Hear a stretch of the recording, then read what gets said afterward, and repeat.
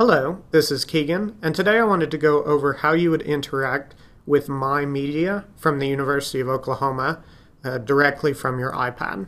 So essentially what I'm talking about is creating videos on your iPad and then uploading them into My Media to share with your students on D2L.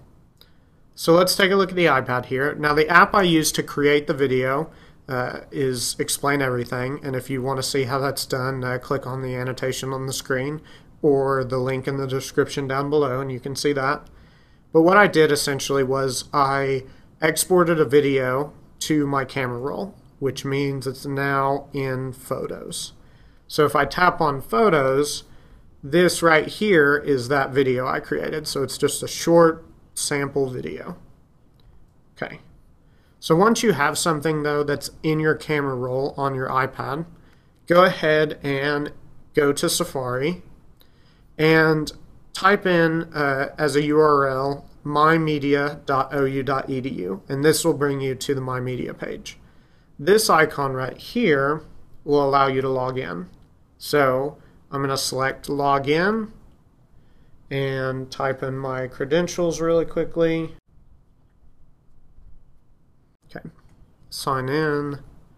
All right, so once you're signed in, go ahead and tap on that icon again, and then media upload is what you're looking for.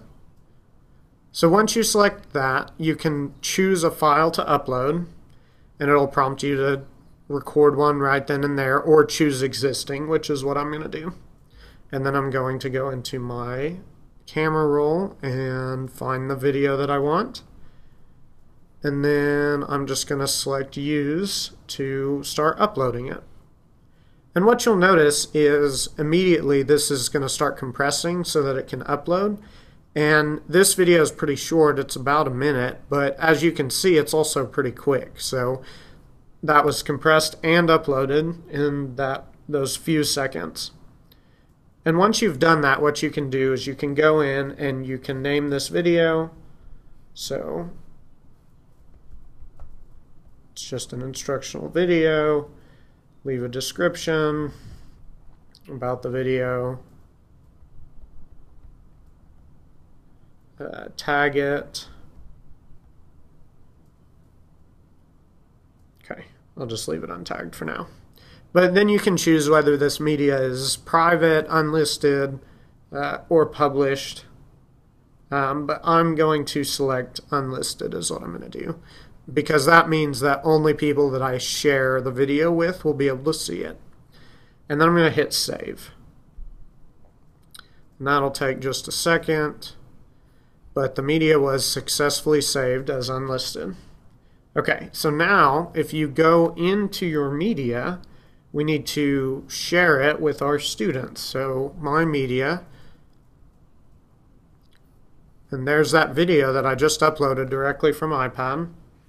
If you tap on it, should open up. And then down here, this is what you're looking for. This share button right here, you can go in. Oh, I'm going to pause that.